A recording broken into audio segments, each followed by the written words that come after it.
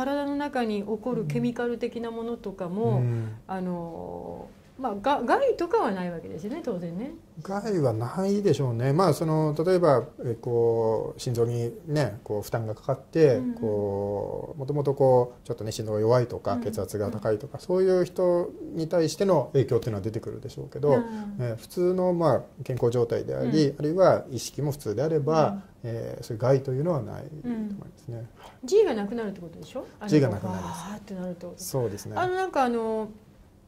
えっと、スキューバダイビングなんかでも、えー、海の中でこう、はい、ふわっと浮いた時に、うん、そういう感覚をちょっと得たことがあるんですけど、うん。えー、それがもう水ではなくて普通にこう、はい、空気が吸えるわけですからね。そうですね。まだあの水の中で浮いてるのは、まあ、浮いてはいるんだけど、うんうん、重力がかかっている状態でもあるし、でこう逆に G がかかるわけですね。そうですね。で水の中で例えばこう上下逆さまになってれば頭に血は上りますしそれからあとは、そうですね。あのそうですね。上下感覚あるしあとはこう泳ごうと思えばこう前に進もうと思ったらこう動く、うんうん、まあ、多少なりともこうかけば進むじゃないですか、でそれもできないんですね。無重力で浮いてしまうともう何やってもこうただ仰いでるだけになってしまうし。夢の中のなんか逃げてるしみたいな。そうですね。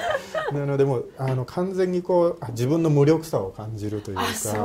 うん、何もできないっていうのとともにあとは例えばえー、普通はこう足で歩いて、うん、えー、手で物を持つ感覚が、うんうん、あの無重力になると足で歩けないので、えー、こう手でこう壁を叩いたりとか押したりとか、うん、掴んだりとかして動いていくんですけど、そうすると物が持てなくなるのでと自然に足で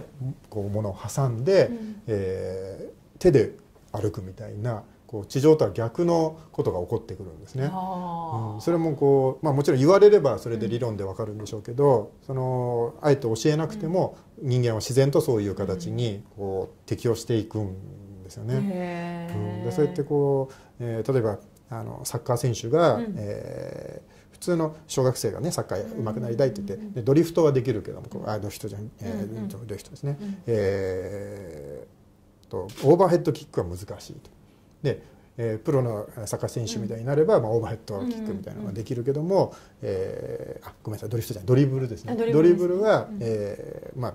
こうできるじゃないですか、でも無重力の状態に行くとまず歩けないのでドリブルはできなくなるんですね。ですよね、はい、だから簡単だと思われてるものが難しくなって、うん、オーバーヘッドキックは逆に誰でもできちゃう。そういうことが起こる。し例えば、うん、あのマジシャンの人がねね。こういうものをここで僕がこうやって浮かせてみせたらこれマジックなんですけど、ね、無重力だったら誰でもできる、うん、だけどここで落とすことは誰でもできるけど宇宙だとふっとこれが宇宙で落ちたらそれはマジックになったりとか、うん、もう地球と宇宙とではまあ反対のこともあるでしょうし、全く違うことが起こったりもするので、そういう意味でも一つの意識だと足りなくなるんですね、もう一つ別な世界の意識を持たないと理解できないことっていうのがいっぱい出てくる。それぐらい思考の幅を広げないといけないっていうことがたくさん出てくるんです、ね、あ面白いな、はい、それは本当に面白いですね、そうすると今までもがいて悩んでえー、例えばもうこれプレゼンやんなきゃいけないみたいな。でそれそのもう、はい、頭の中で固まってる時に、うん、ふわって全然逆のことが起きた時に、うんはい、そっかこの発想の転換もできるってことですよね。そうですね。そういったその要は自由に行き来するというか、うん、思考を広げて、えー、客観視するだとか、そういったことが、えー、できるようになってくると、まあ、それはそれだけのその経験をねするとすればするほど広がっていくんだと思うんですね。で、えー、例えばあのこうこれはその考え方だけじゃないんですけど、技術もそうなんですけど例えば、えー、地上でラーメンを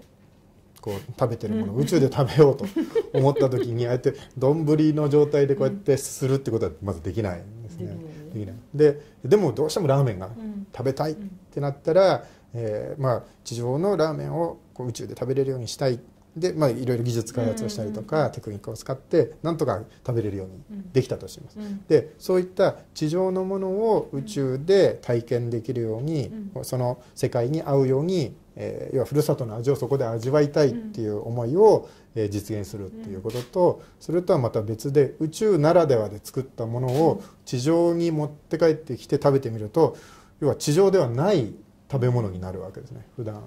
その必要としてないわざわざ作り方をしたものを地上で食べるわけだからっていうその両方の技術開発っていうのが必要になってきたりもするんですね。意識も常にあの双方向で見ないといけない。日本で例えば、えー、日本食っていうものを海外に持っていくっていう考え方とともに、海外のものをハンバーガー屋さんをこう日本に持ってくるっていう、その双方向が常に、えー、外に出てみると起こるっていうことだと思うんですけど、そういう意識の幅っていうのは今度は海外地上のいろんなヨーロッパだったり、えーね、アジアだったり、えー、あるいはこうアメリカだったりとかっていうそういう考え方からもう一個外の世界っていうところの出入りになってくるんだと思うんですね。それぐらい意識を広げないといけない。だから地球のことっていうのはもう、えー、一つそこをまず認めた上でまた別世界があるよっていう考え方になるんだと思うので、そういう意味で世界中の人たちがみんなそこの方向に向かっていくっていうのは、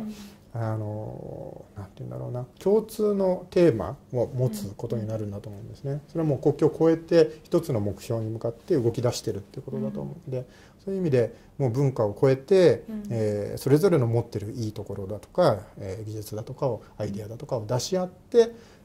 乗り越えていくっていうか、作っていくっていうそういう今流れができているんですごくこれからの時代っていうのが面白くなっていくんじゃないかな。と思います。そうですねステージが上がると、